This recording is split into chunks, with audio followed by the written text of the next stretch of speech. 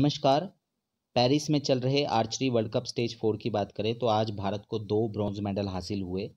Recurve man team ने जो है वो ब्रॉन्ज मेडल हासिल किया।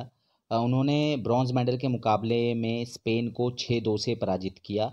वहीं सेमीफाइनल में उन्हें चाइनीज़ ताइपे से हार का सामना करना पड़ा था, ज़ीरो छः से। इसके अलावा अगर हम दूसरे मुकाबलों की बात करें तो रिकर्व वुमेन में जो है, टीम इवेंट में उन्होंने भी जो है वो ब्रॉन्ज मेडल हासिल किया। रिकर्व वुमेन टीम ने जो है, उन्होंने ब्रॉन्ज मेडल के मुकाबले में मैक्सिको को पाँच चार से पराजित किया। अगर सेमीफाइनल मुकाबले की बात करें तो उन्हें भी चाइनीज़ ताइपे से ज़ीरो छः से हार का सामना करना पड़ा। इसके अलावा जो है, वो रिकर्व इंडिविजुअल इवेंट भी खेले गए जिसमें मृणाल चौहान एक बटा चौंसठ मुकाबले में बाहर हो गए। तुषार प्रभाकर जो है, वो भी एक बटा चौंसठ मुकाबले में बाहर हो गए।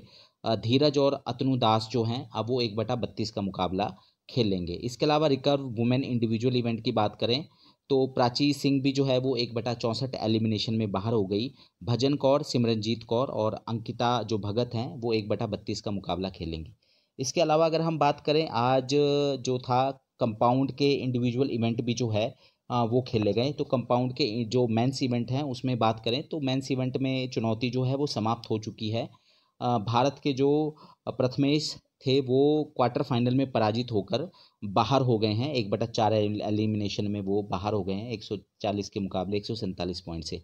इसके अलावा रजत चौहान, अभिषेक वर्मा एक बटा सोलह जो एलिमिनेशन था, उसमें पराजित होकर सत्रहवें स्थान पर रहे। जबकि ओजस प्रवीण जो है, वो एक बटा बत्तीस एलिमिनेशन में बाहर होकर तैंतीसवें स्थान पर रहे। अगर हम महिला की बात करें तो महिला कंपाउंड इवेंट में भारत की जो एकमात्र चुनौती बची हैं, वो है ज्योति सुरेखा। ज्योति सुरेखा जो है वो सेमीफाइनल में पहुँच गई हैं। इसके अलावा क्वार्टर फाइनल मुकाबले में जो थी वो अदिति गोपीचंद पराजित हुई।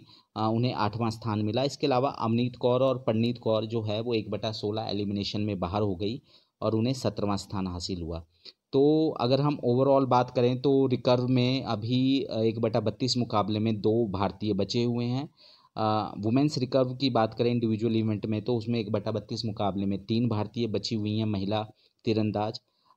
कंपाउंड की बात करें तो कंपाउंड मैन इंडिविजुअल इवेंट में जो है, वो भारतीय चुनौती समाप्त हो चुकी है।